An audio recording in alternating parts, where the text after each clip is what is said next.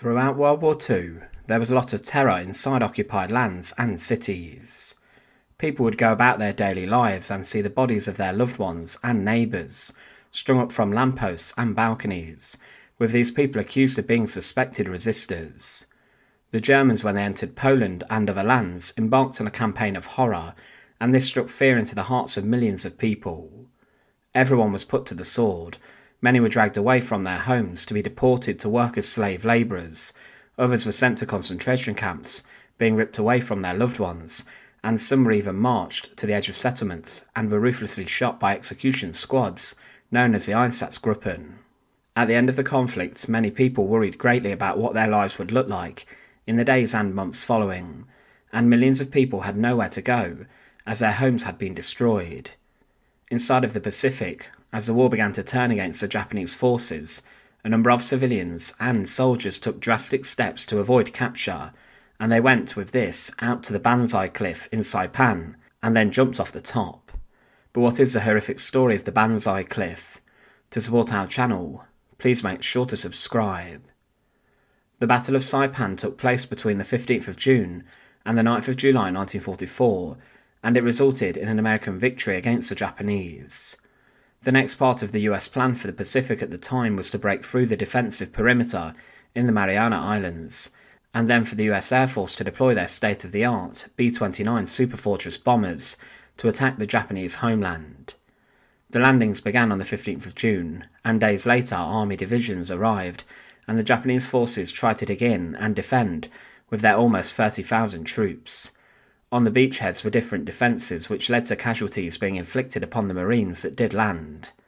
The Japanese believed that they would win the battle on the beachhead, however, they were pushed back despite fighting savagely, and they held out with whatever they could.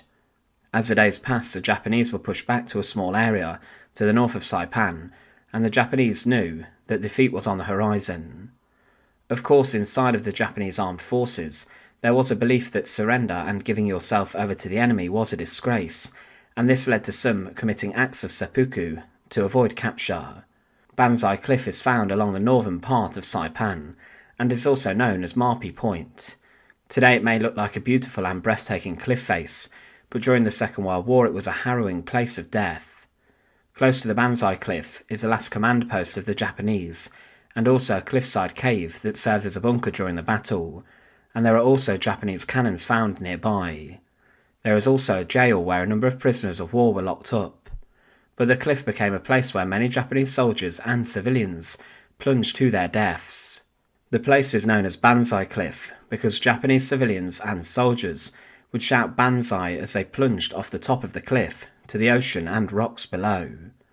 They jumped over the cliff due to the fear they had about being captured by the Americans and they saw it as a more honourable thing to do, in the eyes of the Emperor, than fall into enemy hands and end up as a prisoner of war inside of a camp.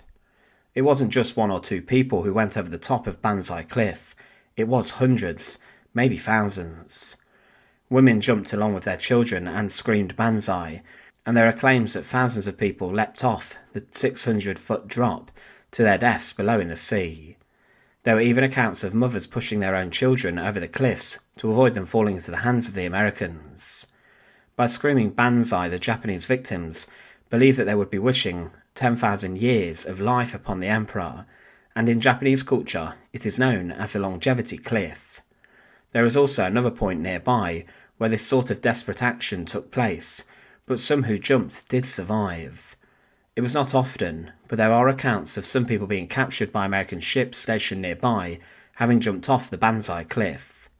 An inscription near to the cliff carries the poignant words of a Japanese reverend, and it says, Better to light one candle than to curse the darkness. By jumping off the cliff, the Japanese civilians and soldiers believed that the best way out was to scream Banzai and to not fall into the enemy hands, which they believed was the complete darkness. Propaganda and rumour which had reached the Japanese had led them to believe that being captured by the enemy meant execution and incredible shame heaped upon their own family. Some fathers even shockingly murdered their own children before throwing them into the sea in the chaos and fear, believing they were in fact sparing them. Those who leapt believed that they would see their children and loved ones again in the afterlife. Some also climbed down from the cliffs and walked into the sea drowning themselves, and there were also accounts of groups of civilians gathering together and then one person in a circle pulling the pin out of a grenade given to them by a Japanese soldier, and you can probably imagine what happened next. On Saipan, during the battle, this was not the only account of people facing their instant death. The Japanese general, Yoshitsugu Saito, ordered that all Japanese soldiers on the island were to gather and die in the honour of the emperor, and they would do this in the form of a banzai charge, one last roll of the dice, in front of the American soldiers. This was the largest banzai charge of the war, and 4,000 Japanese soldiers, many of whom had little weaponry, and who were just carrying sharpened bamboo spears, ran towards the enemy. They had little ammunition or hope, and many had suffered significant injury, and the wounded came towards the end of the charge, hobbling towards the Americans who shot and killed most of them. This huge banzai charge resulted in a battle that lasted 15 hours, and most of the Japanese soldiers were killed in the costly ritualistic massacre. However, they did manage to inflict death and injury upon roughly 650 American soldiers. This took place two days before the Americans announced that Saipan was in their hands.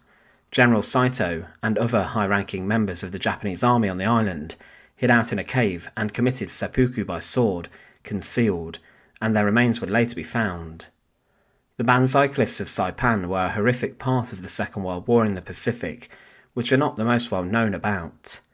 The Emperor of Japan, Hirohito, had himself ordered his population to embark in this sort of activity and death, rather than to fall into the hands of the Americans, and the propaganda perpetuated by his government and officials led to this fear gripping the nation. The American forces, when they took Saipan, often ordered Japanese civilians to try and appeal to those in the region to assure them that the Americans would treat them well if they did surrender, and the Americans promised to give them food, shelter, and safety. But some could just not trust this, and they still went to the cliffs and to the north to take their lives. This sort of behaviour was, of course, not exclusive to the Japanese, as in Europe there were many people inside of the Third Reich and Germany, and also in occupied lands, who could not imagine life without Hitler as a Fuhrer leading them. This led to a number of deaths in the face of the advancing Soviet Red Army and the Western Allies, who discovered many high ranking local officials who had taken this course of action. But the Banzai Cliff today is a picturesque and beautiful spot in Saipan, but 80 years ago it was a very different story, and it was a place of pure desperation, which led to hundreds of people plunging 600 feet to their deaths not wanting to fall into the hands of the Americans, who would soon launch devastating bombing raids on Japanese cities.